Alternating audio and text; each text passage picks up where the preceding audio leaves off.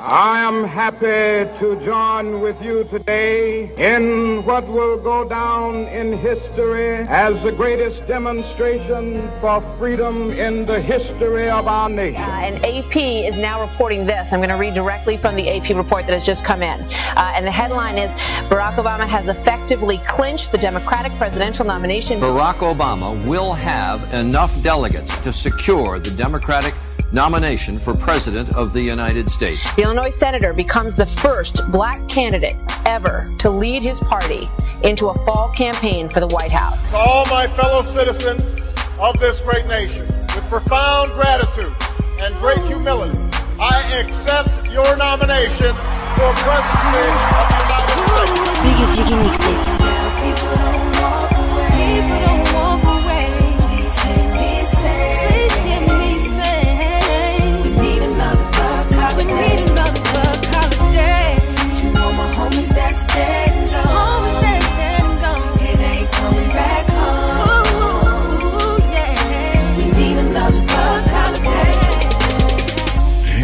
Children of God, we got to do better.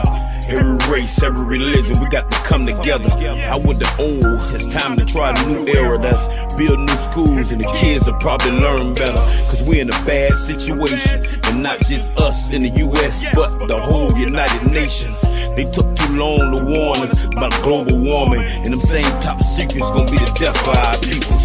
They don't want to beating us, to cheating us, and soldiers dying for no reason, so they still mistreating us. Losing my peers was the greatest of my fears, but the last couple years I shed so many tears. I'm coming to you like a grown man. We got some serious issues, and it's really getting out of hand. And let's say a prayer for all the tears that we shed and all the time that we missed when they missing little kids. People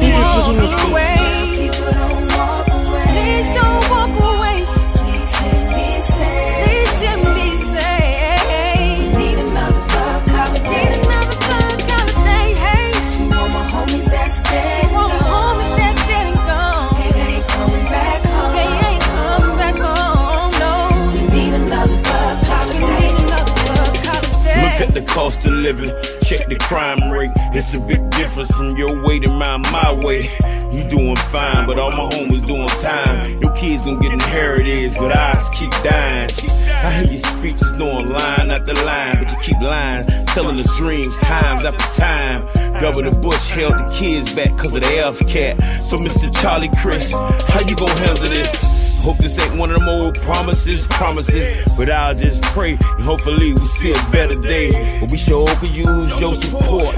On every corner, and every hood, and every front porch, every court. My holiday will be the day you give jobs away to ex-cons who's really trying to move on and free those who already roll and kept a G code for way too long. Come on.